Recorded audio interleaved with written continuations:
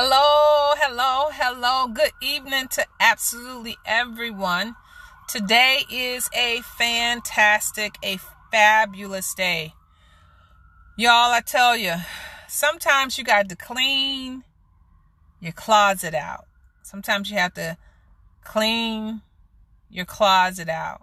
Um, so today was the day I had set aside to make sure that I had um, that I was cleaning out my closet. Hey Marie, thank you for joining me. So today was the day that I had set aside time that I was going to be just totally cleaning out my closet and um, I just knew I had prepared for it. I knew that that's what I wanted to do. And so, you know, when you have the intentions of doing something, you know, sometimes it always, hey, good, good evening. Sometimes there's always something else that would try to come and take that place, right? Um, and so I was determined. I was determined. I was determined. Hey, Kim, I was determined to get my closet clean uh, today. And that's literally what happened. I can use this as a metaphor in so many different ways. I'm actually um, waiting for some some food. I went to get some food, and let me tell you this: there's two th- two points I want to make on this. When you are determined to do something, yeah, I know. I, I, I listen. I've had all kinds of stuff going on today, y'all. But hey, Yoli. Uh, but when you are determined and you've made up your mind to do something, don't let anything, don't let anyone distract you. No matter who it is, no matter if it's family, no matter if it's, um, you know, someone very close to you. When you have made up in your mind that you're going to accomplish a thing, that's when a lot of other stuff starts coming before you. You know, so you may have somebody say, Oh, you know, can you help me do this? Or, Oh, you know, what about this? Or what's your opinion about this? Or can you look at this particular information? Nobody asked me to do any of that until I had made up in my mind today, y'all, that I was going to be cleaning out my closet. And so it took me seven hours that's right, Yoli. Distraction is a killer. That's, let me tell you, today I got, almost got distracted on sometimes it's little things. So I started out just taking my clothes out and I started looking in, you know, purses, you know, and I was like, wow, I had this in the purse. And, you know, I didn't find no money in the purse. but I started looking in my purse and I started seeing certain things. And it was like 20 minutes later, and I'm still looking in this purse. And I'm like, what am I doing? I got distracted, Yoli. I got distracted. And so, even when, our, when you have times in your life where you get distracted, you can get back focused. You can come back and realize that this is not what I'm supposed to be doing. This is not what I said I was going to be doing and bring yourself back to focus. And so I end up having to do that. So if there are things in your life where you knew that you were going to do one thing and then all of a sudden you started going through and looking at details. Sometimes that happens when we're online too you know, whenever we're looking, trying to look up a certain video, and then all of a sudden all this other stuff is coming up in your timeline, and you're like, oh, wow, that's interesting. And you'll find yourself, um, hijacked is what I call it. You'll find yourself hijacked, and it's been an hour, and you don't know that you've been hijacked, right? And so tonight, I just want to say to stay focused. Stay focused on what you know that you need to do Stay focused on what business you know that you're going to be implementing. Stay focused on the curriculum. Stay focused on your family. Stay focused on your marriage. Whatever it is, whatever the new um, endeavor, stay focused on what you said that you were going to accomplish.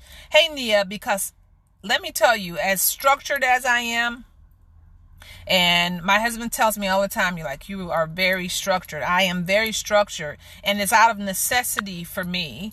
Um, and that's just who I am. And, uh, it works for me. It's, it, it works for me.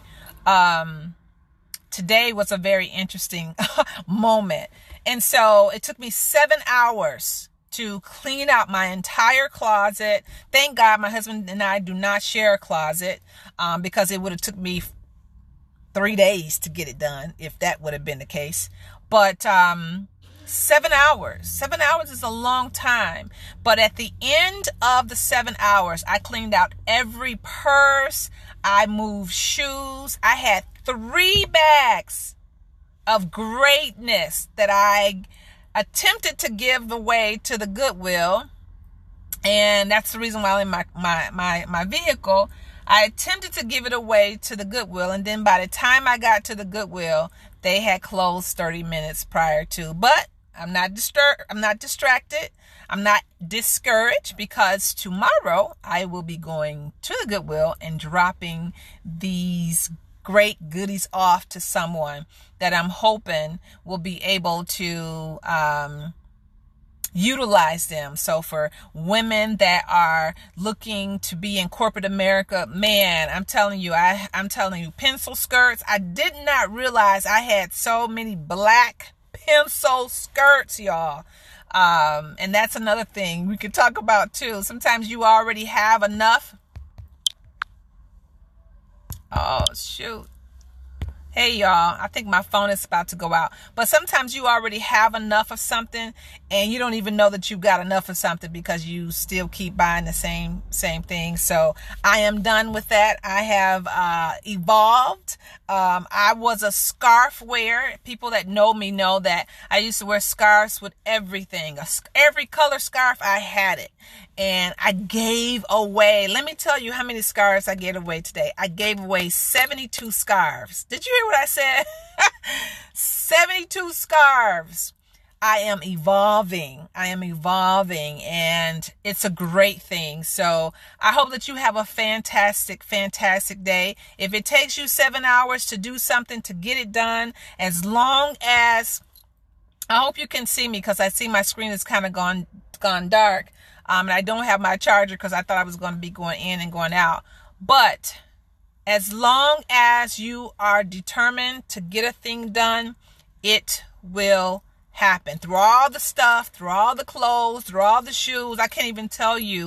Um, I probably gave away, mm, I don't know, maybe 15 pair of shoes. And I really don't have a lot of shoes and I actually don't have a lot of clothes. But sometimes when you are transitioning, you have to give away some stuff that's really great quality because some other great quality is coming to you. And so that's what happened today that in your aspect of eh, of of transitioning in your life your aspect of transitioning in your career and your aspect of your dreams and aspiration transitioning, then it also means you as a human being that you are transitioning. If I go out, y'all, it's okay because I see I only have about 4% on my phone.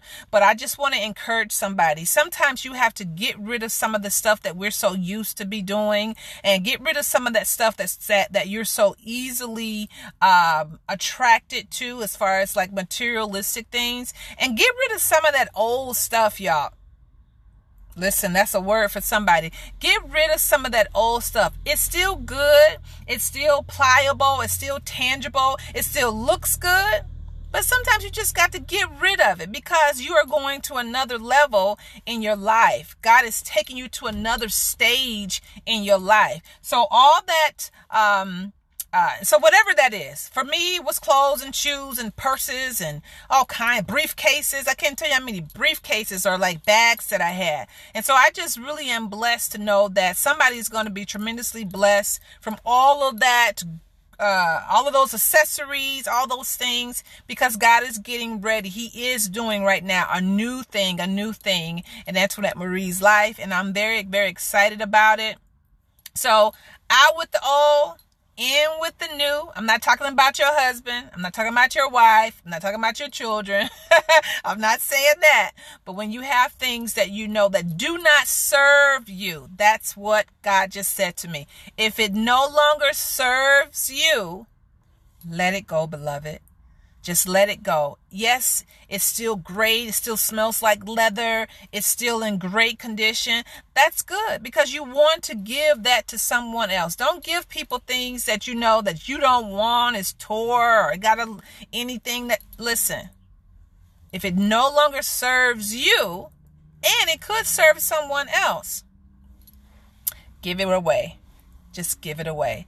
So I hope that this word really inspires you to clean out your closet, whatever that looks like, um, and to give unto others. But also, if it no longer serves you, let it go. Let it go and let it go. This is Antoinette Marie. Um, I hope that you have a fabulous, fabulous um, the rest of your weekend. And as always, if you have a husband or a wife, hug on them. Let them know that they are very important to you. And if you have your children, let your children know that they are essential to you and to your life span. They are e- essential to you and your lifespan. And I will speak to you very, very soon.